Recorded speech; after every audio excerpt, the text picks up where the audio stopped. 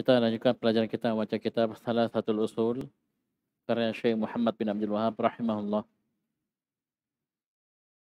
Kita masih di jenis-jenis ibadah yang disebutkan oleh Syekh. Kita sudah masuk al-khauf ya. Ya. Al-khauf kata Syekh Muhammad bin Abdul Wahab rahimahullah wa dalil khawfi qawluhu ta'ala inna dzalikum asy-syaitanu yukhawifu awliya'ah fala takhafuhum wa khafuni in kuntum mu'minin. Dalil khauf adalah ibadah. Ini terjemahannya ya.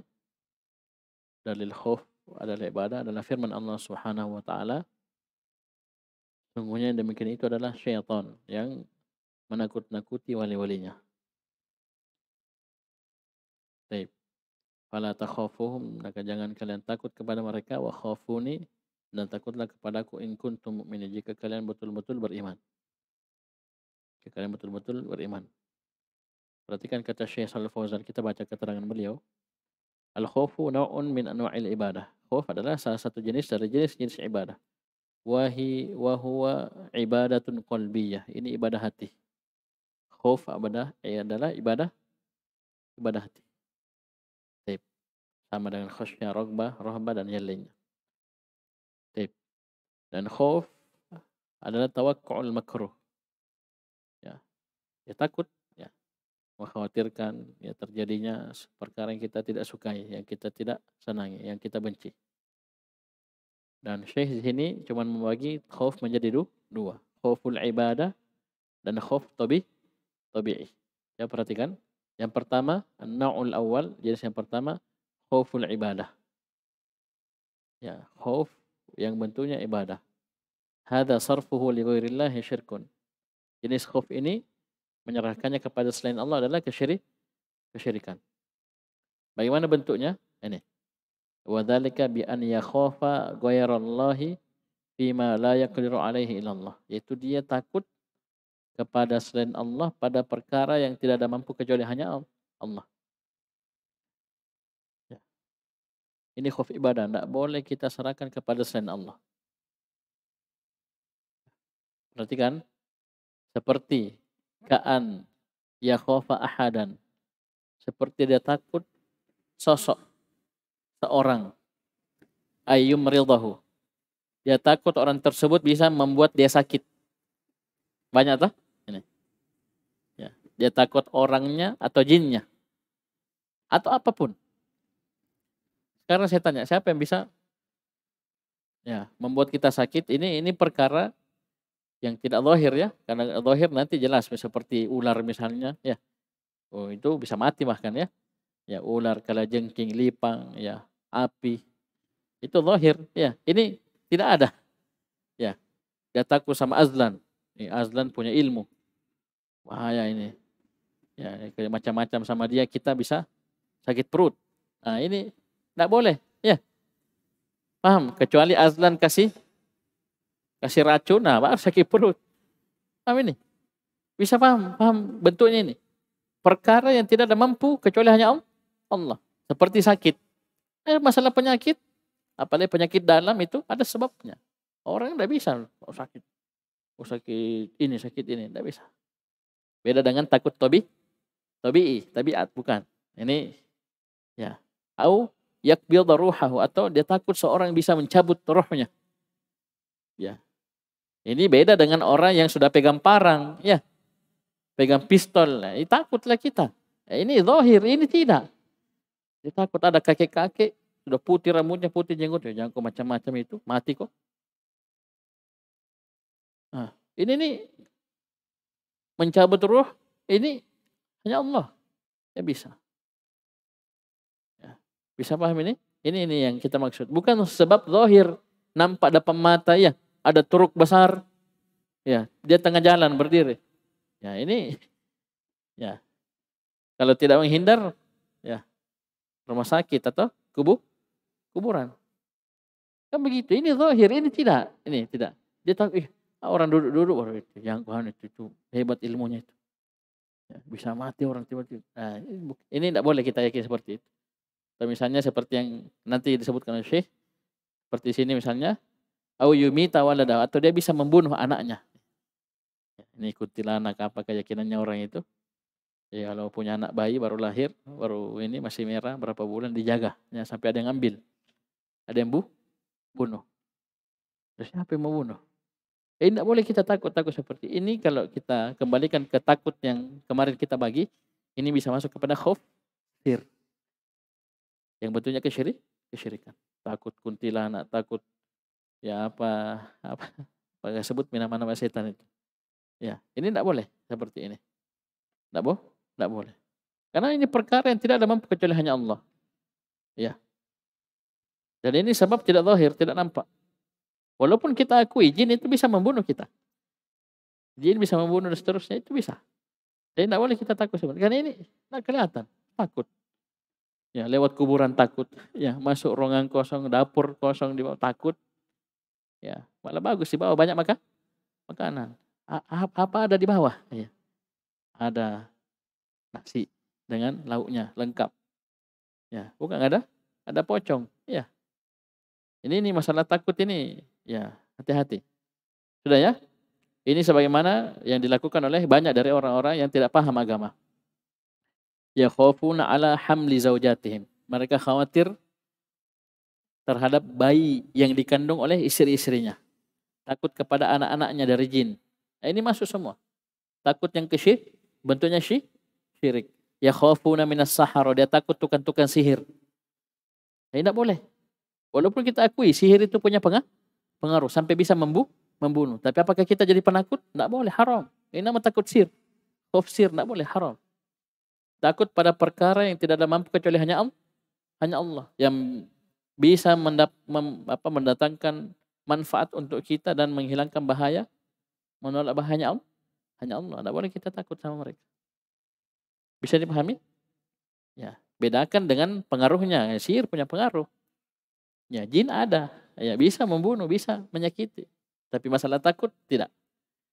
Ya, karena tidak nampak, tidak kelihatan. Itu saya katakan bedakan dengan orang mabuk pegang parang. Ya, jangan coba-coba. Ya, orang mabuk pegang parang, kalau dekat-dekat ditebas nanti kamu. Dia tidak sadar. Paham ini? Ada mobil, truk, ya jangan coba-coba tengah jalan ya. Libas kamu rumah sakit. Ini dohir ya. Tapi ini takut tabi, tabiat. Ini takutnya lain-lain. Ya, takutnya lain-lain. Takut sir. Nah, kata Syekh sini perhatikan. Sehingga karena takut tersebut atau misalnya di sini Syekh takut dari orang mati. Seling karena tukang sihir, orang mati, jin. Ya. Ini yang banyak ditakuti tak? Ya.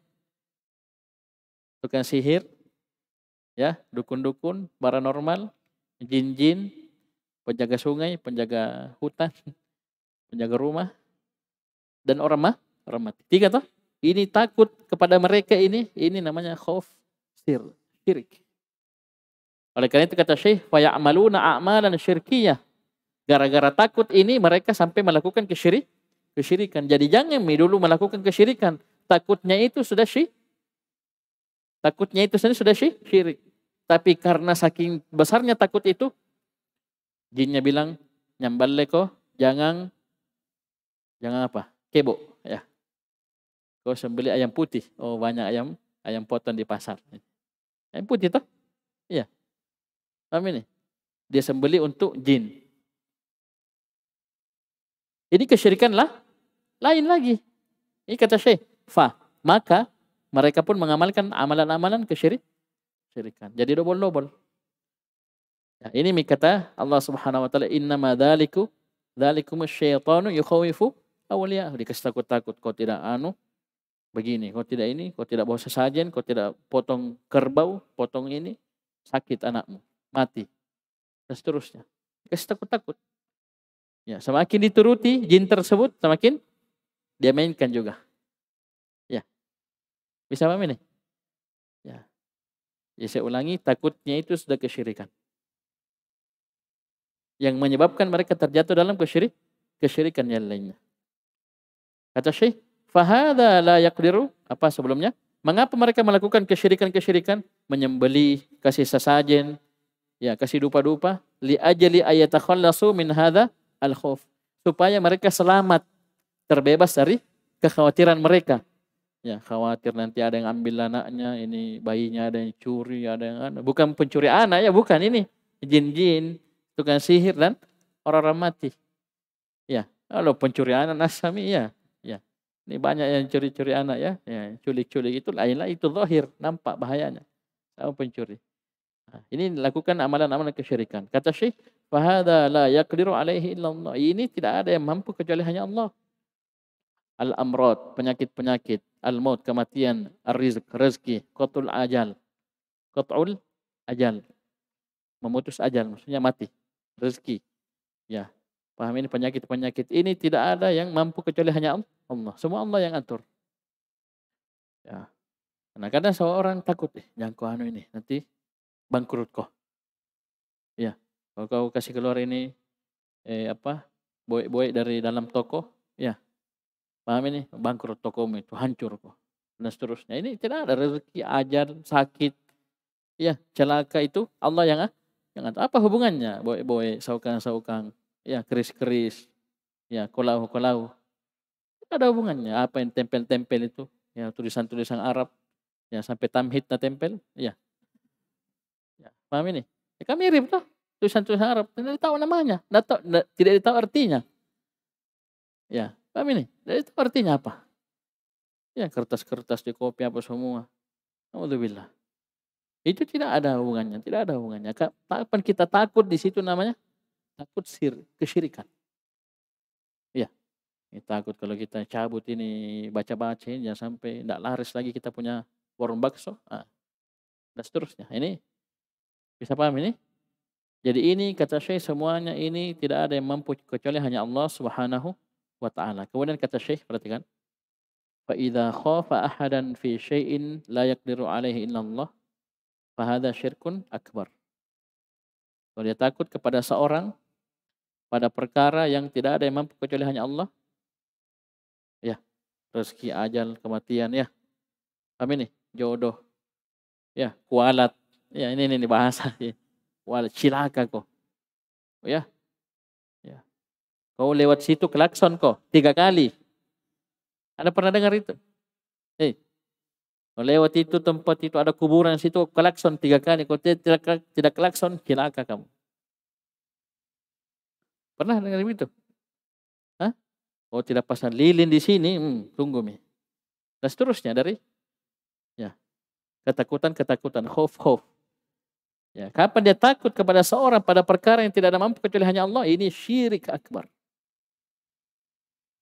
Li'annahu sarafa naw'an min anwa'il ibadati li ghairillah. Karena dia telah menyerahkan, memalingkan satu dari jenis ibadah kepada selain Allah itu khauf. Karena ini takutnya jangan kira ini takut yang melahirkan apa? Penghamba. Khauf, khauf ibadah yang kita sebutkan kemarin. Ya. Yang dia beribadah dengan bahkan melahirkan penghambaan. Itu orang yang takutnya seperti ini gampang sekali. Ayam hitam sembeli sesajen sare eh apa songkolo ane keluruk nane dua sisa bunah ah kasih pinggir sungai lilin merah. Ya paham ini? Ini semua kenapa muncul perbuatan begitu? Karena sudah khofnya sih syirik ini yang mendorong mereka.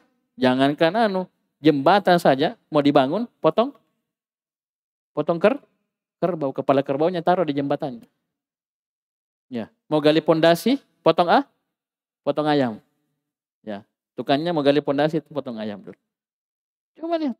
Kenapa potong ayam? Siapa mau dikasih makan? Mending kita bakar-bakar ayamnya. Ya. Paham ini? Sudah syirik. Sembilannya, sembilannya jadi bang, bangkai. Karena diperuntukkan kepada selain Allah. Paham ini? Oh, itu mengerikan. Mengeri, mengerikan. Ini semua karena takut. Sama masalah rezeki. Antum ada itu habis panen, ada ritual. Itu takut gagal panen. Kenapa? Ya, itu. Khof sir. Coba Miko tidak lakukan ritual, tunggu tahun depan gagal panen. Itu naudzubillah, itu rezeki sudah diatur. Allah yang atur, bukan mereka. Bukan jin. Paham ini? Kan begitu kan? Mereka itu takut sekali kapan tidak dilakukan ritual tahunan tersebut atau ritual habis panen tersebut ini keyakinan mereka, jangan sampai Ya, jangan sampai jangan sampai ini ketakutan ini khofsir masuk. Yang mana melahirkan ketundukan, perendahan. Ya. Ya, sedekah bumi, sedekah langit, sedekah eh langit tidak ya? Kalau langit. Ya, apa ini? Langit boleh sedekah ya. Sedekah bumi, sedekah apa begitu. Nah. Paham ini? Itu ada keyakinannya. Itu modal besar itu. Tapi mereka hitung-hitungnya apa? Oh, kalau kita tidak lakukan kualat. Ya. Nah, ini. Ini masuk syirik syirik akbar.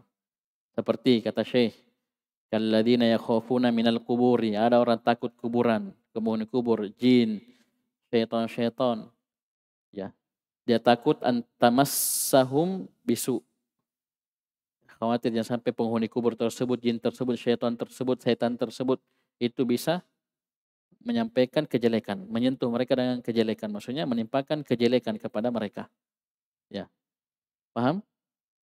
Ya, ini khauf yang bentuknya kesyirik, kesyirikan. Khauf sir. Ya. Bisa paham ini? Baik. Khauf ibadah yang tidak boleh diserahkan kepada selain Allah. Kenapa kita takut? Nah, mereka tidak bisa apa-apa. Ayo. Kenapa kita takut? Sedangkan mereka tidak bisa apa-apa. Mereka juga diatur hamba seperti kita. Seperti kita. Seperti kita. Bisa dipahami? Termasuk jin. Jin sama dengan manusia. Hamba Allah. Ciptaan Allah. Makhluk Allah. Diatur juga oleh Allah subhanahu wa ta'ala. Kenapa kita mau takut? Ya. Bisa dipahami? Bisa? Nah, ini hati-hati. Apalagi cerita rezeki, ajal, ya, kematian, penyakit, oh ini. Ya. Saya teringat itu dulu di kampung, ya. Adanya sakit. Ya, sudah langsung, oh anu itu. Anu pinggir pantai, itu kan kebetulan memang di pantai. Tuh bawa ko ini, ini, ini. Sudah baca-baca. Jadi itu bukan dokter dicari dulu. Kampung itu bukan dokter dicari dukun dicari. Pertama kali sakit, dukun dicari. Antum kan ya apa, ya obat mencret. Ya, dokter ini tidak. Itu dukun dicari. Ini ada kasih kena-kena. Ada kena angin. Angin jahat ya, seterusnya udah. Bisa dipahami? Nah, ini coba lihat akidah ini. Ya. Tidak ada dia yang itu Allah, tidak ada. Ya, paham ini? Jadi dukun yang pertama sudah dukun ini, anu ini. Ada yang kasih kena, ada yang begini. Alhamdulillah. Baik. Sehingga mereka apa? Mereka pun fayadhabuna yataqarrabuna ila hadhil asya.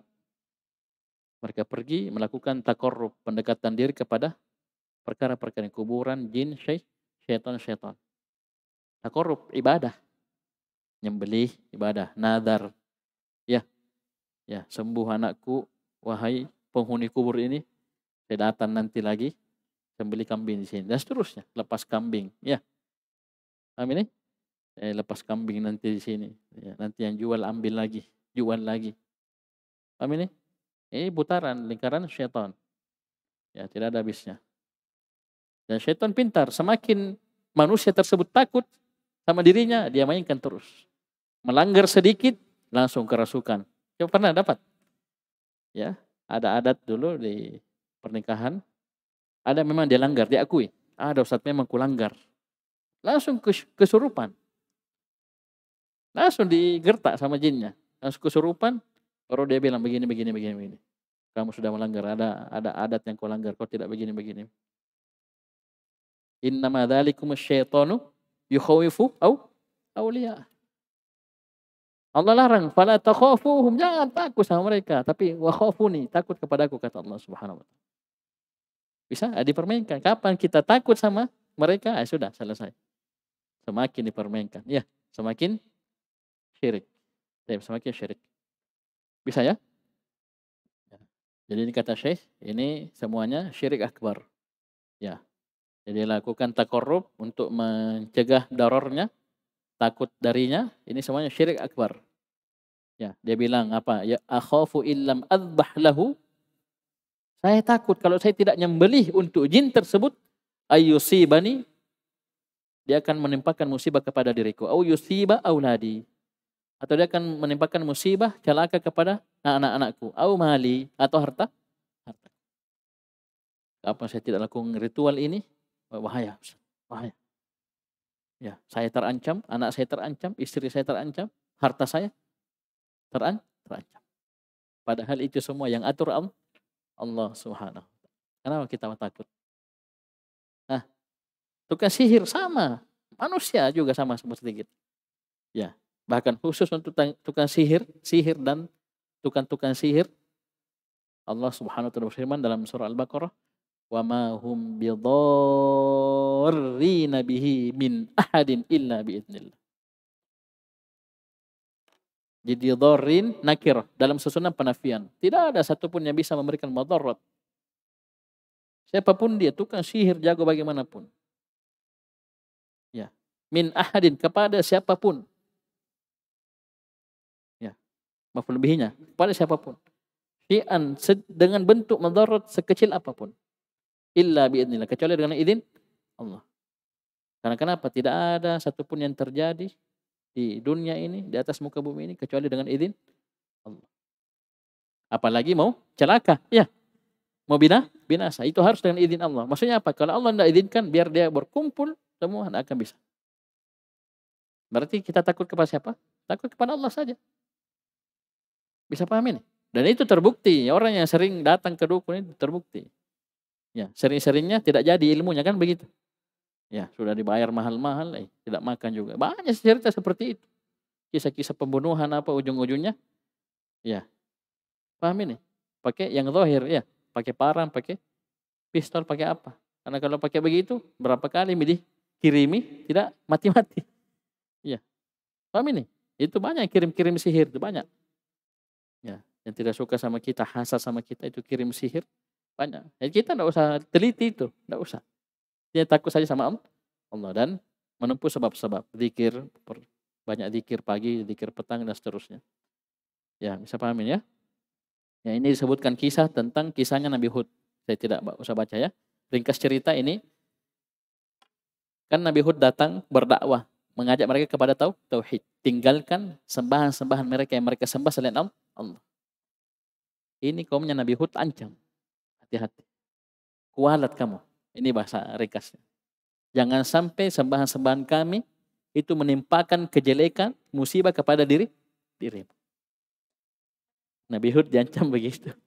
Bukannya takut, malah menantang. Fakiduni jami'an. Ya, mulai mi, dulu mi, bikin makar.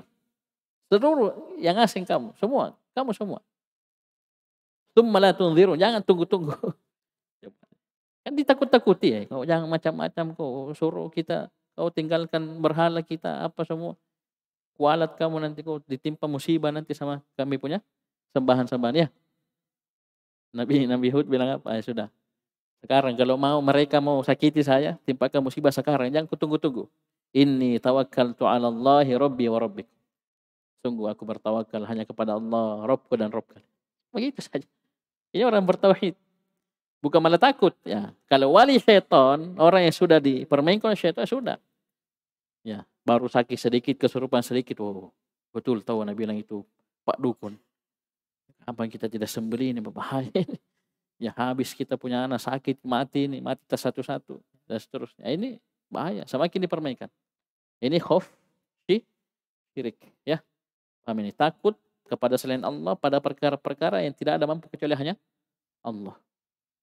Ya, khususnya apa tadi? Kuburan, jin dan orang-orang orang mati, dukun-dukun tugas sihir. Ini semuanya masuk. Ya, mah, masuk. Ya, kecuali dukunnya pegang parang ya, sudah takutnya kita sama parangnya bukan ke dukunnya. Ya paham ya, ada ilmu aib, ilmu apa ya. Paham ini? Ya ilmu sihir ya, ilmu sihir ada ilmu sihir. Tidak usah takut. Ya. Taip. Karena itu Allah sudah janji wa ma hum bihi min ahadin illa biidni. Ya, tidak ada satupun yang bisa memberikan celaka, madarat dengan sihir tersebut kepada siapa pun juga tanpa izin kecuali dengan izin Allah Subhanahu wa taala. Jadi kalau ada yang sudah kena itu berarti Allah izinkan. Ya, ada yang sampai kesurupan, ada yang sampai sakit itu berarti izin Allah. Itu ujian untuk diri dirinya. Ujian untuk dirinya. Kemudian jenis yang kedua kata Syekh Shalal Fauzan adalah takut tabi, takut tabiat. Bagaimana bentuknya takut tabiat ini kata Syekh?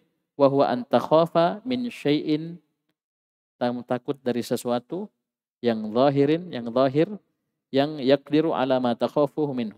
Yang memang mampu mewujudkan apa yang kamu takuti darinya. Nah, ini baru takut tabiat. Takut kepada sesuatu yang nampak. Ada kelihatan. Ya.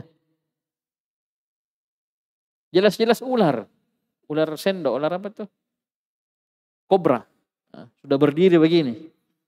Ya, dia lihat-lihat kamu. Ini syai'un zahirun.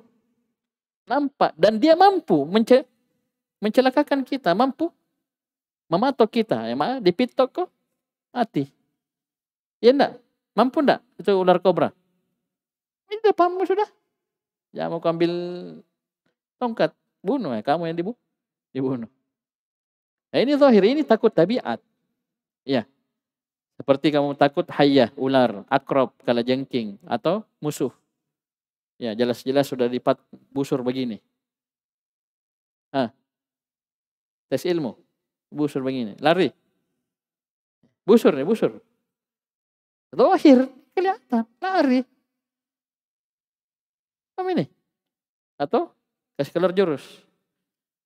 Paham ini? Eh, ini takut tabiat. Nampak. Beda orang. Eh, piku ambil anu dulu he. Habis lauk ini. Beda, tidak ada orang di dapur. Dapur itu biasa ada suara orang menangis. Ya. Suara, kucing, dia bilang suara orang mana?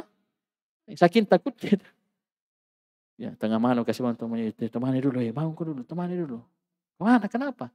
WC. Eh, tidak ada orang, sunyi itu WC di bawah. Naudzubillah.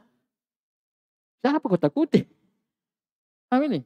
Kecuali ada ular di bawah baru itu sini kudu ada ular baru panggil temannya. Tidak ada apa-apa. Ini hati-hati ya. Ini karena pengaruh sering non nonton film horor. Ya, dibikin terus itu film horor. Ujung-ujungnya rusak aki akidah. Dari kecil kita mak lampir, sudah sundal bolong ada macam-macam. Ya, biar lewat kuburan tak takut apa takut di kuburan orang mati semua? Paham ini? Hey.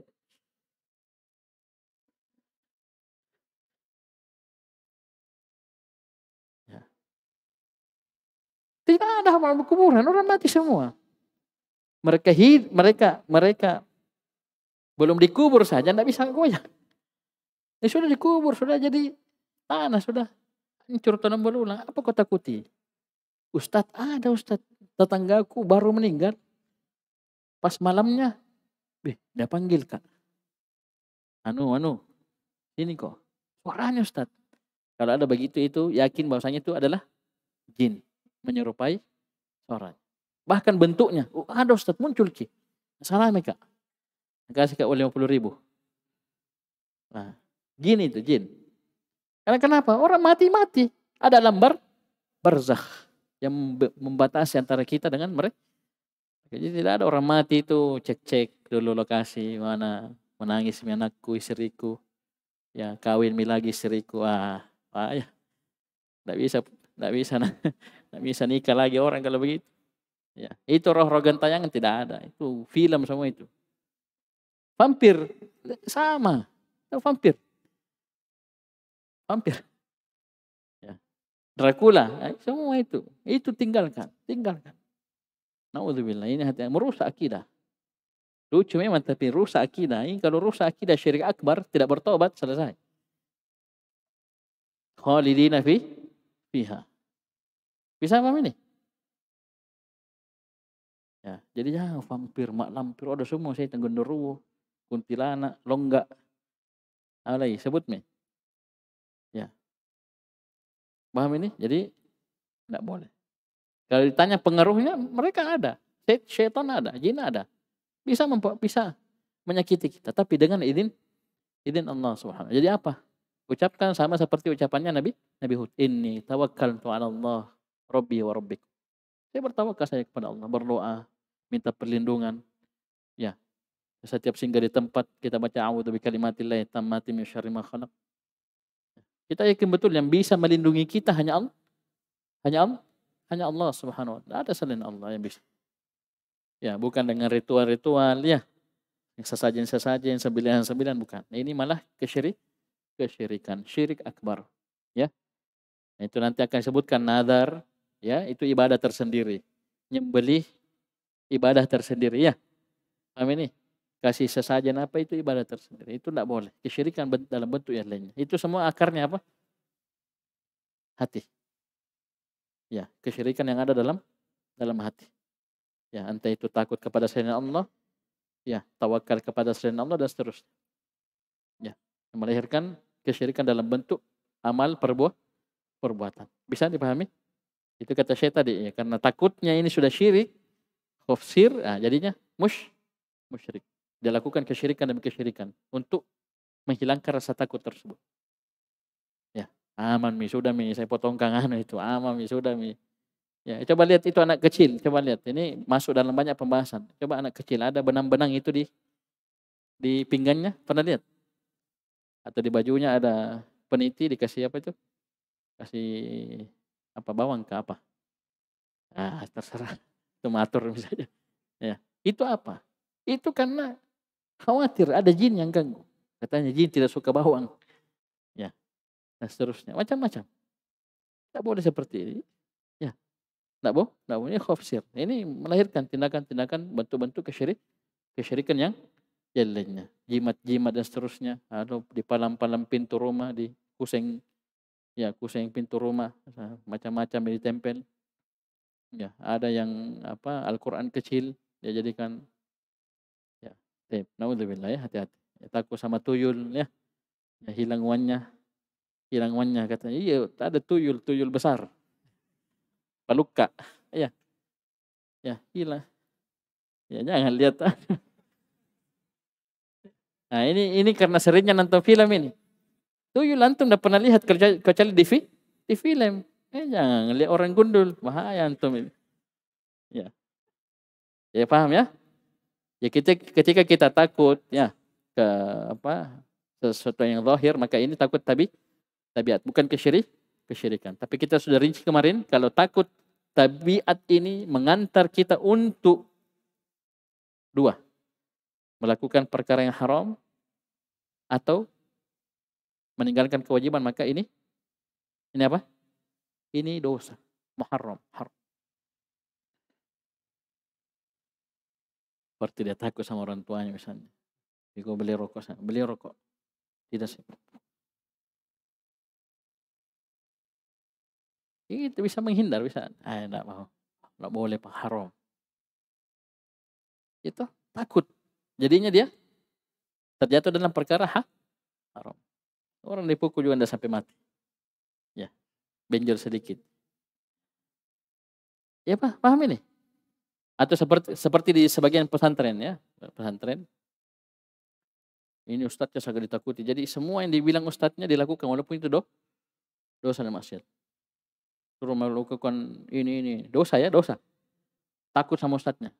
Ini takut apa? Asalnya tabiat karena ustadznya bisa menghukum bisa memukul ya bisa mencambuk. Tapi ini takut yang haram. Masa gara-gara takut sama ustadz kita buka baju buka celana ya oh, bodoh namanya itu apalagi perempuan perempuan naudzubillah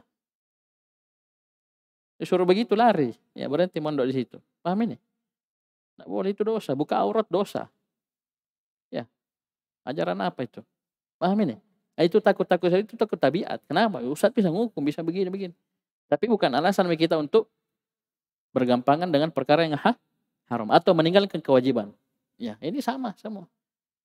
Sah, sama. Ini takut tabiat berubah menjadi hukumnya ha haram karena mengantar kepada perkara tersebut. Ya cukup insya Allah nanti kita sambung di pertemuan selanjutnya tentang ar-roja. Tentang jenis ibadah ar-roja itu berharap harapan. Sekian subhanallahi walhamdik. Asyhadu an la ilaha illa anta astaghfiruka wa atubu ilaik.